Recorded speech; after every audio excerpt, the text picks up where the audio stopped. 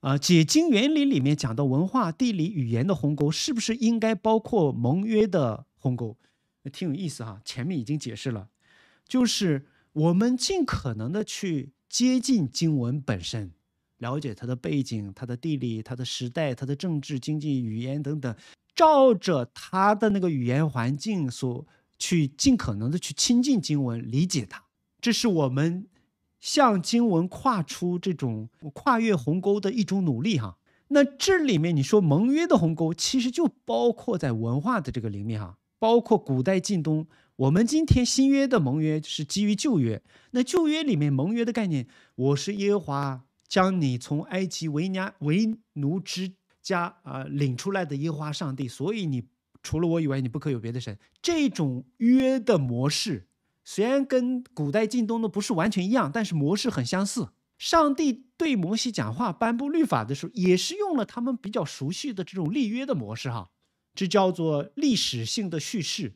先讲到我和立约的主体甲方是谁，我是耶和华；乙方是谁，你。那关系什么？我是把你从埃及领出来的。那我们之间以这样的基础来立约，因此你有这样的义务，除了我以外不可有别的神。然后什么？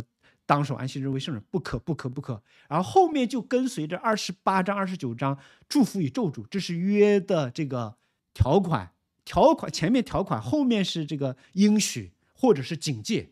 二十八章是应许，顺从的蒙福；二十九章是警戒。呃，二十八章是应许，二十九章是警戒。不遵守的话就咒诅。然后后面就开始献祭，这就仪式立约的仪式。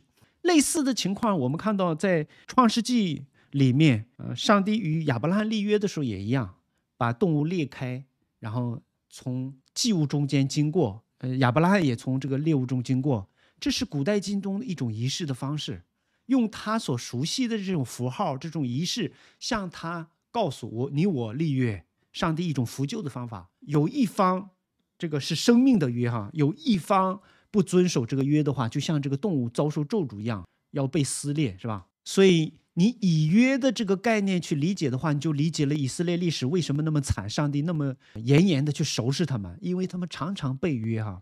上帝是信实的，持守他的约，亚伯拉罕之约，所以没有灭绝他们。但是以色列常常背约，不尽心、不尽心尽意的去爱耶和华他的神，所以他们遭受审判，被掳掠，被其他的民族攻击也好，欺压也好，史诗记里面也好等等。